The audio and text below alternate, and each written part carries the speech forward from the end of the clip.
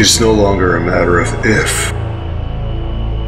Now, it's only a matter of when. Despite finding nothing else like us, I fear for what's to come. They will be ready to face what lies still in the darkness. They have to be. I'll make sure Sarah takes care of that.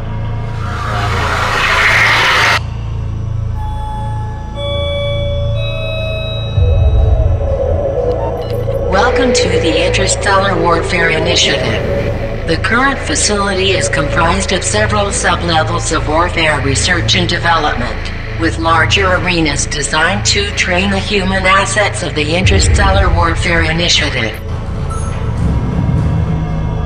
These arenas are designed to pit two fire teams against one another in a variety of assignments, simulating diverse environment and weather conditions.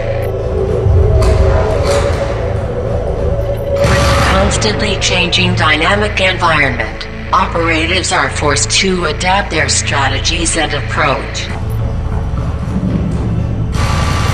The interstellar marines trained here will be very few, but capable of changing the tide of a battle with fire teams of only four operatives.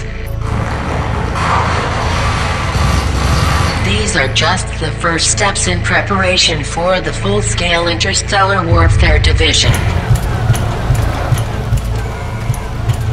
As members of ITO's Committee on Military Applications budget, our initiative only requires your approval.